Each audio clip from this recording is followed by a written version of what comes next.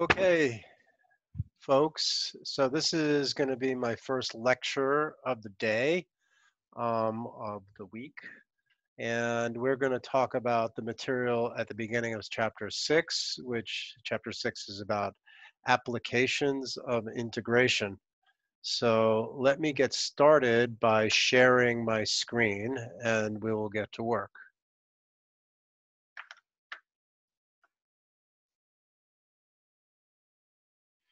Okay, so uh, I want to talk about area between curves. So that's section 6.1.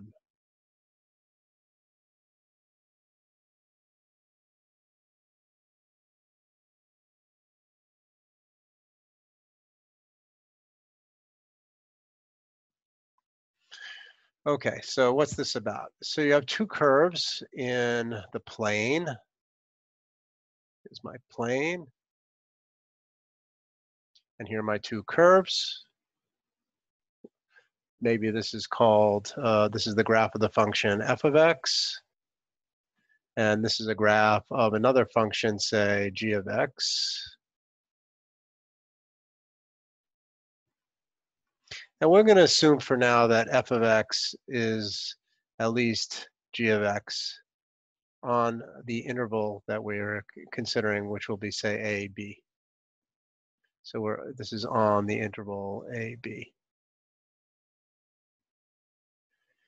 And uh, what I want to do is uh, compute the area, which is of this region between the curves, between the values of x between a and b. So here are the values in question indicated. So this shaded region, which I'm trying to shade not very effectively.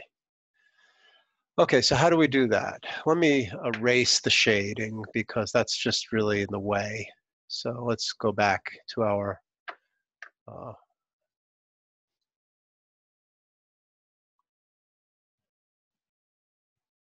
So this will be f of x now.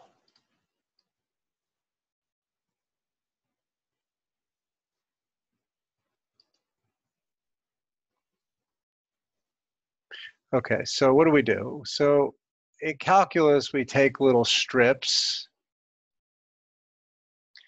of a certain width, uh, and the width will be delta x, which we're going to take delta x going to zero. So we can try to estimate the portion of the area in, in that strip, and that's base times height. So the area of a strip is roughly equal to, uh, so if this point here is, we give it a name, let's call it x sub i. So then it would be uh, the base, which is delta x, times the height. Now the height is the is f of x with g of x subtracted. So it would be f of x minus g of x i times delta x. Let me redraw that. It doesn't look good.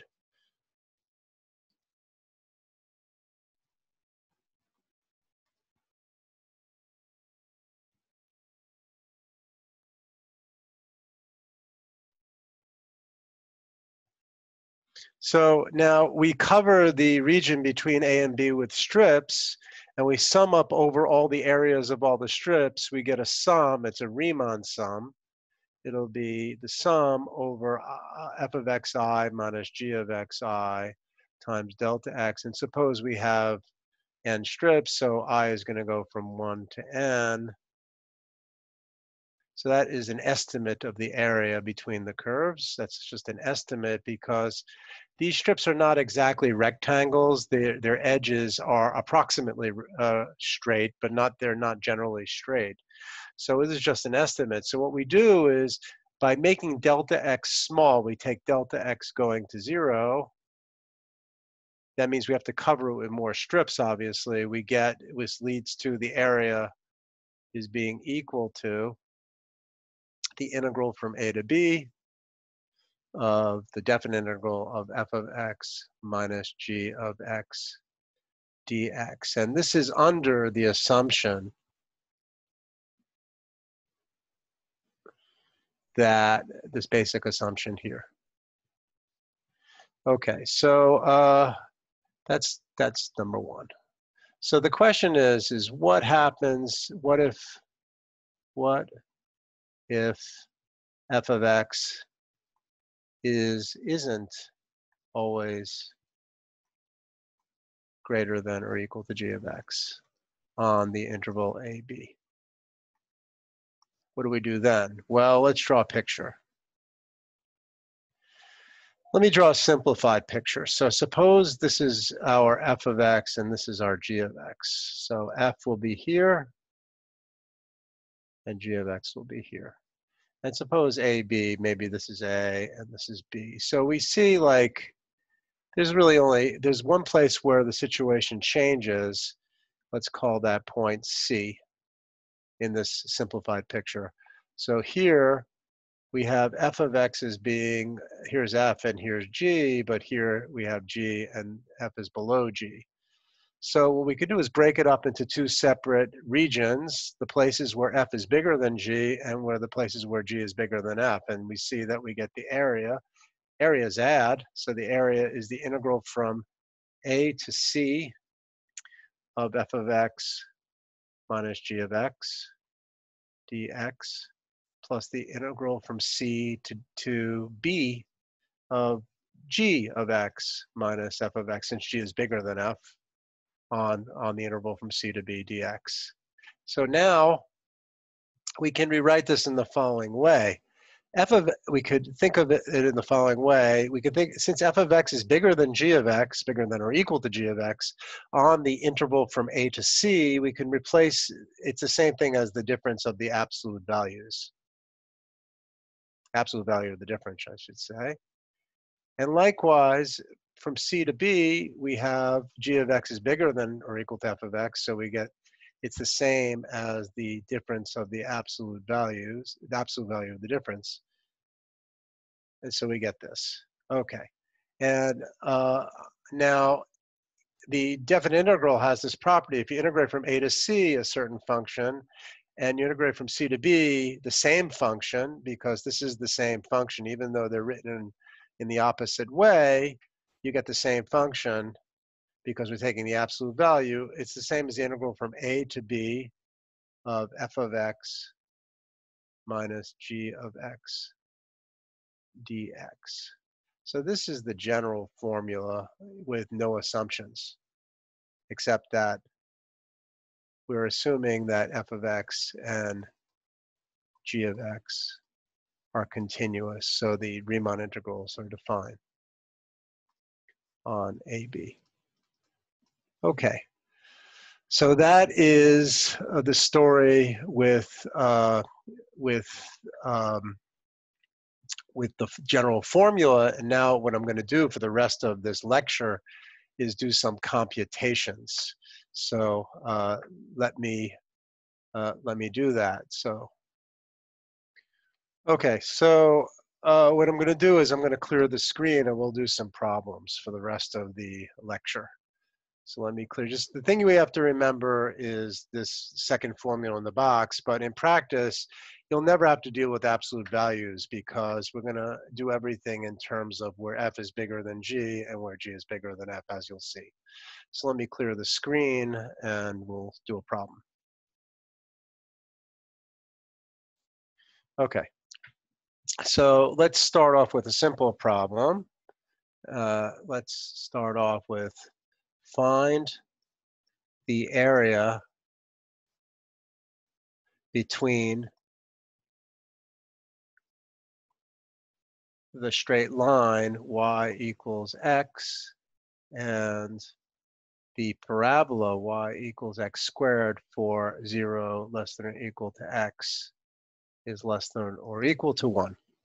So let, it's always good to draw a picture, and that's what I'm going to do.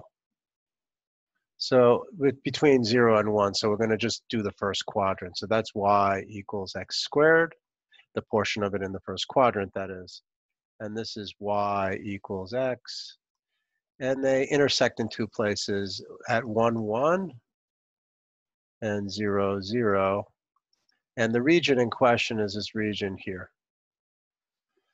Okay, so uh, in this case, uh, a vertical strip that we draw, the f of x would be x and the g of x would be x squared. So you're going to get the integral from 0 to 1 of x minus x squared dx. x squared is smaller than x when x is between 0 and 1.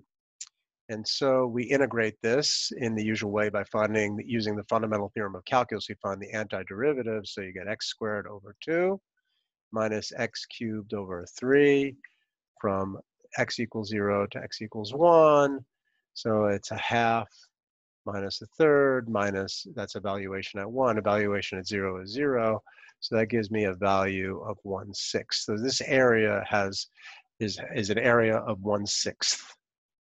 Okay, so that's the first question that I want, the first exercise I want to do. And let's do, uh, let's do uh, another exercise. Um, let's try the following. Uh, let's try, uh, let's try an example of the following form. y equals sine x and y equals cosine of x, where x is varying between 0 and pi over 2. So this is the sine curve between 0 and pi over 2. It's, it's a wave. It goes like this. Pi over 2 is here. I'll put a dotted line. And then we have the cosine curve, which looks like this. Dips down to 0. So this is sine x and there's cosine of x, and they meet at pi over 4, at x equals pi over 4. This is the x-axis here. So we're going to get, for the area, it's the integral from 0, x equals 0 to x equals pi over 4 of cosine x, because that's on the top, minus sine x dx plus the integral from pi over 4 to pi over 2 of the sine x minus cosine of x dx. Now what is that? Well, the antiderivative of cosine x is sine x, and the antiderivative of sine x is minus cosine x, so you're going to get a change in sign because the derivative of plus cosine x is minus sine x and this is being evaluated from x equals 0 to x equals pi over 4. And then the other uh, uh definite integral is going to give me negative cosine x minus sine of x from pi over 4 to pi over 2. And now we go, we're going to evaluate each of these expressions. So sine pi, let's evaluate at pi over 4. So you're going to get radical 2 over 2 plus radical 2 over 2. That's the evaluation of sine x and cosine x at pi over 4. And the evaluation at 0 gives 0 plus 1. And then now we evaluate the second expression. We get negative 0, which is just 0, minus 1, minus uh, negative uh, square root of 2 over 2, minus square root of 2 over 2. And if you work this out and you do the arithmetic, you should get twice the square root of 2 minus 2 as the final answer. And that is the final answer to this question. Okay, great. Okay, so we've done two problems thus far. And my next problem is an example from the book. Uh, let me clear the screen and uh, consider uh, this is example seven. On page 433. Taking this directly out of the book, find the area. Between. Y equals x minus 1, that's a straight line, and y squared, when I say between bounded by, I mean equals 2x plus 6. You'll see what I mean in a moment. So uh, let's graph again. Always good to graph. So here's my x-axis, here's my y-axis. y equals x minus 1 is a line of slope 1 with y-intercept minus 1. So that's that line. And then y squared equals 2x plus 6. You, if you rewrite it like this as x equals y squared over 2 uh, minus 3, solve for x, you'll see that this is a parabola. It looks like cover the 3, you get y squared over 2. So that's sort of like a parabola that's uh, whose nose is horizontal and goes through the origin, but now we're subtracting three, so it go three units, so it goes like this.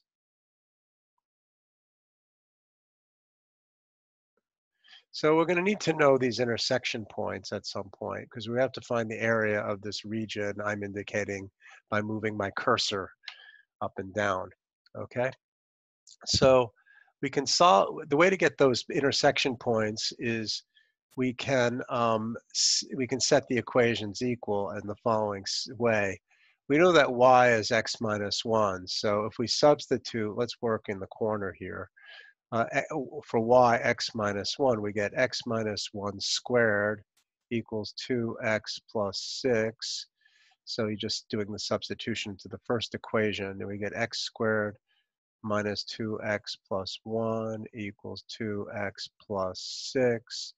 So we're going to get x squared minus 4x minus 5 equals 0. And we get x uh, minus, uh, 5 x plus 1. I've just factored it equals 0. So x is two possible values, minus 1 or 5. And if you stick in it, solve for y, we see that when x is minus 1, uh, that, then y must be minus 2 because y is x minus 1. And the other point is going to be uh, 5, 4. So those are the two intersection points. Now, if I were to solve this problem in the usual way, vertically, by taking vertical strips, we run into a problem. The problem is, is this, is we took a strip like that, we see that the strip, the rectangular strip would touch the same curve, the parabola, in two different places. Whereas if we took the strip over here, it would touch the line in the parabola. So this is not an easy problem to do if we look at it from the point of view of the variable x. So what I propose to do is switch variables. Think of this as a problem in terms of y. So we take a strip of thickness delta y instead and compute its uh, height. And we're going to get an integral from that, right? So what is it? So the top of the strip is going to be given by the straight line and the bottom is the parabola. So what do we get? So now y is varying between minus 2 and 4. And the strip, it's going to be a delta y becomes a dy. And what is the height of the strip? Well, it's it's the it's uh, the straight line, which is uh, x, e we have to express x in terms of y. So x equals y plus 1, I believe. So it's y plus 1 minus the parabola, which is y squared over 2 minus 3 dy. Okay, so we, we now we uh, just solve the problem in the usual way. So we get the integral from minus 2 to 4 of negative, if we simplify, we get negative y squared over 2 plus y plus 4 dy. Um, and then we get minus y cubed over 6 plus y squared over 2 uh, plus 4y. I've taken the antiderivatives from minus 2 to 4 and we can substitute the values. We get negative, if we put stick in the four, we get negative 64 over six plus 16 over two plus 16 minus uh, negative, um, 8 over 6 plus uh, uh, 2 squared, negative 2 squared is 4, so 4 halves, minus 8 and you can do the arithmetic yourself, you should get 18 as the solution, as in the book. So that is the solution to that exercise in the book. The example, I should say it's an example. Okay. All right, so that is our third example. Um, and as a final example, I'm gonna do something from uh, the exercises. And by the way, I should have the first homework assignment up by the end of the week, and you'll have about a week to do it, just to let you know. Okay, uh, let's see. So let me clear the screen. And now I'm going to do uh, ex exercise number 33, 33 uh, uh, in the homework section of the book. So uh, what is it? So it gives you the vertices of a triangle. And the vertices are this. It's the origin, 0, 0. It's the 3, 1, which is somewhere near here. And it's the point point one, two. so that's somewhere near here. So they determine a triangle. Here's our triangle.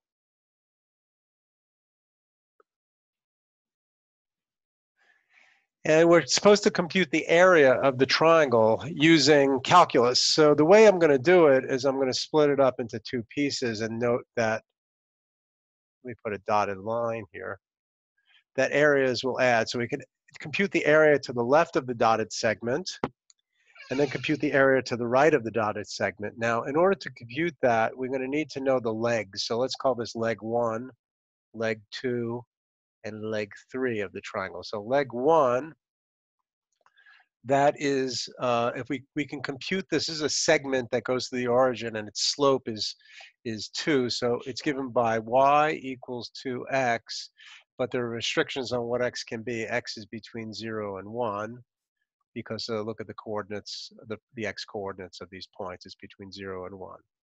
Similarly, we have the legs the other legs, you can compute very easily. For example, the last leg has slope a third. That's one third x. And x is going from zero to three. And uh, uh, and the the leg leg two is a little more complicated because it doesn't go through the origin, but its slope is minus a half. You can easily compute the slope and then by compute the intercept by sticking in one of these points. And, and if you do it right, you'll get five halves. Uh, and x is between 1 and 3. Okay, that's a fly. Okay, so now I want to compute the area. So let's call this region 1 and this region 2. So region 1 has area um, given by the integral from 0 to 1 of the uh, leg 1 minus leg 3, right? So it would be 2x minus x over 3 dx. And uh, so we're going to, and region 2 is the integral from 1 to 3, I guess, of uh, leg 2 minus leg 3, so it's negative a half x uh, plus 5 halves dx. Uh, so we're going to add the, we're going to compute these things separately. So the first integral is uh, the integral from 0 to 1 of 5 uh, thirds x dx. So we're going to get 5 sixths x squared from zero to one, and that's five sixths. So that's the that's the area of region one. And the area of region two is, is, is given by computing this the this integral, and you're gonna get you're gonna get um, negative. Uh, uh, did I do this right? I think I did this right. Oops, I made a mistake. Ah, I made I caught myself in a mistake. So let me erase. I didn't do this right. So I have to subtract off, uh, I have to subtract off something. So it's going to be minus a third x because it's L2 minus L3. I didn't subtract the L3. So let me go back and subtract off the L3 1 third x. So this is the integral from 0, 1 to 3. Oops.